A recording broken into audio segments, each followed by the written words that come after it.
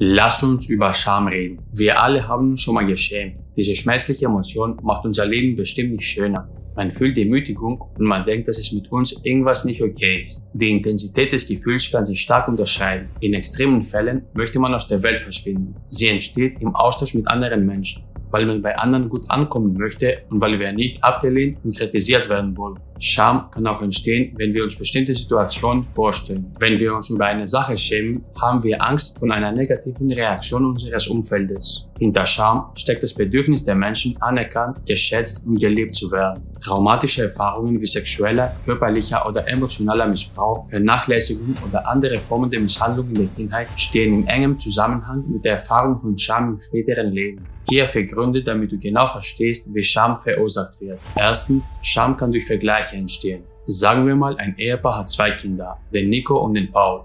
Der Nico bekommt immer gute Noten in der Schule und der Paul eben nicht. Deshalb vergleichen die Eltern deren Ergebnisse und verurteilen ihren Sohn Paul. Dadurch fühlt sich der Paul jetzt traurig und schämt sich, weil er nicht so gut wie sein Bruder ist. Zweitens, Scham kann durch Beschimpfungen verursacht werden. Zum Beispiel immer wenn ein Kind sein Essen nicht aufgegessen hat, wurde von seinen Eltern bestraft. Drittens, Scham kann entstehen, wenn wir ein schlechtes Gewissen haben. Vielleicht hast du in der Vergangenheit jemanden geschadet und schämst dich jetzt für deine Tat. Viertens, Scham kann durch Mobbing entstehen. Beispielsweise, wenn jemand für sein Aussehen ausgelacht wird dann denkt ihr, dass es mit ihm irgendwas nicht okay ist. Menschen, die solche Situationen erlebt haben, neigen dazu, Schamgefühle zu verinnerlichen und können sehr leicht ein negatives Bild über sich selbst bilden. Dadurch kann ein Mensch im Nachhinein pessimistisch, depressiv und sich nicht lebenswert fühlen. Leider haben solche Denkweisen auch starken Einfluss auf den Körper und das Immunsystem, weil die meisten psychischen Störungen auch den physischen Zustand beeinflussen. Ich gebe dir jetzt eine Methode, um die Menge und Stärke der Scham zu reduzieren. Erstens, akzeptiere, dass du dich schämst und versuche deine Situation nicht schön zu reden. Zweitens, schreib dir auf, durch welche Situation die Scham entstanden ist. Drittens, frag dich selbst, ob du bereit bist, was dafür zu tun. Viertens, vergebe dir. Verstehe, dass wir alle Fehler machen und daraus was lernen können. Es ist okay, wenn du irgendwas nicht so getan hast, wie andere es wollten. Wenn andere dich nicht so akzeptieren, wie du bist, dann sind es nicht Menschen, mit denen du Kontakt haben musst. Und jetzt kommen wir zum schwierigsten Schritt. Um die Scham für immer loszuwerden, musst du einen harten Weg gehen.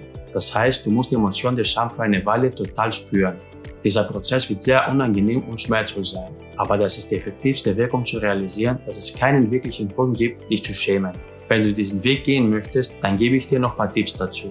Erstens, finde einen Ort, wo du alleine und in Ruhe sitzen kannst. Lass die Emotion der Scham hochkommen und beobachte dich für ein paar Minuten. Beim ersten Mal führe diese Übung am besten für nur zwei bis fünf Minuten. Du kennst dich ja besser, schau mal, wie viel Schmerz du ertragen kannst. Nach ein paar Malen wirst du erfahren, dass die Stärke des Scham sich stark reduziert hat.